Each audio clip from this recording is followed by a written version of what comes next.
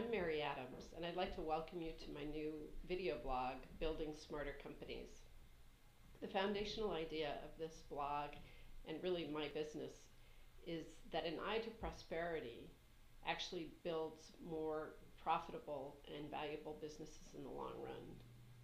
This shouldn't be that radical an idea, but for a long time, American business has been under almost a spell of an idea that was written very clearly by Milton Friedman in 1970 in the New York Times Magazine, and this was actually the title of, of that article.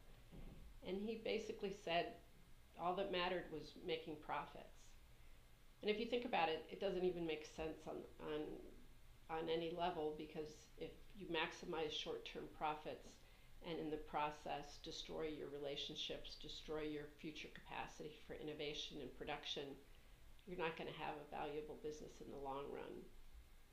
But we've relied way too heavily on what the financials tell us without paying attention to bigger picture issues. A lot has changed since then, maybe not as much as we'd like, but there are two megatrends that I, I like to point to as being very critical in understanding where we are today. The first, of course, is the rising awareness of the need for businesses to pay attention to what are called externalities. That is the effect that a business has on society, um, its, its community, and, and the uh, physical environment, our planet.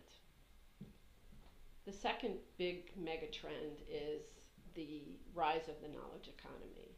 Today, almost every business you could consider to be a technology business, a knowledge business where people and data and processes and uh, relationships and networks are critical components of a company's uh, competitive advantage. So this calls for a different approach to management, and I've tried to create a, just a simple statement here that presents an alternative to what Milton Friedman said. And that's basically that companies that pay attention to their customers, their, employees, and their ecosystem in the long run can be more profitable and valuable as well. So there are a lot of related ideas to this. The ideas that I work with and I follow uh, aggressively these days include intangible capitals, the multi-capital model, uh, systems thinking, and then integrated reporting, which is really exciting because the thinking that uh, I've been working with for a long time has been had great reception with privately held businesses, but now it's expanding to get more attention from publicly held businesses. So these are the kinds of things I'm going to be talking about in this blog.